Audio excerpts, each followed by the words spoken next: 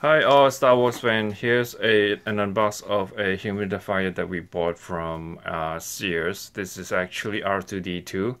Um, I We just started unboxing it, so uh, before we continue further, just want to show you what's inside. Um, well, let's go through the box first. So this is Star Wars R2-D2. So for Star Wars fans, you know that R2-D2 did not really show up that much on the newest uh, Star Wars. But in any case, this is a really iconic figure, so everyone knows what this is. Um, this particular one can use a regular bottle, so when you look at this, it seems like it will fit, but we're not sure. We just first time that we're trying this. Uh, this is a humidifier. It will run about 12 hours of runtime. Uh, what else? Let me turn around. Um, so uh, outside the box looks pretty neat uh, we just look at inside really quickly and the R2D2, R2D2 itself is pretty uh, good looking as well. So let me quickly open this up.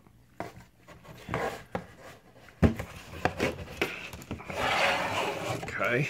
So here is the R2D2 as you can see this is entirely made from plastic and it's really just um, a, a, cast of itself. Um, the quality of service is really not that bad. Uh, the paint itself is pretty cool. Uh, it looks um, the to it really looks like the R2 R2D2 that we know of. Um, inside the box, um, there is a set of instructions.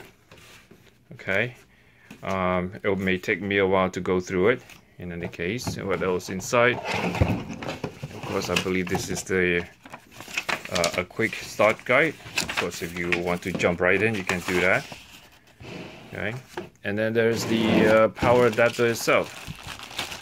So beside the power adapter there is also a brush. I'm assuming this is used to clean um, uh, the I guess the, the mechanical things inside so let me uh, open this up and continue further so once you turn the head off, um, as you might expect, this is sort of like a regular hand humidifier that uh, we had before. Looks very similar, and obviously, um, once water start to fill up, uh, the calcium will also start to fill up as well. And I guess you use a brush to clean. Um, now, as far as how do you actually use this, I really have no idea how you're gonna put the bottle itself into this one. Um, well, I have to try it, right? So I bought a smart water bottle. So this is pretty long and pretty heavy to say the least. And obviously we cannot use anything heavier than this. Uh, then again, I never tried this. So hopefully this works. Essentially, you just take this and just screw it in. Or you just plug it in, not screw it. So I just want to push this in.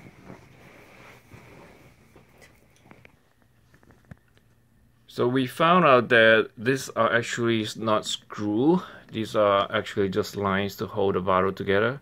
And I just uh, push it a little bit hard to get it in. Um, now the question is, will it drip uh, when I turn it around? So I'm not sure.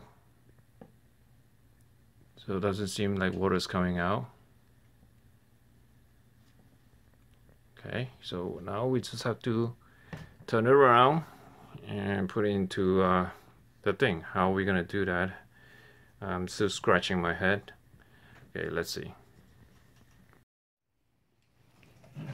Okay, the, so the instruction says that you um, take out the R2D2 head and plug in the adapter. Okay, and then basically just I just flip it around. Uh, assuming this works, it will stop the water once it's filled in. Not we have trouble.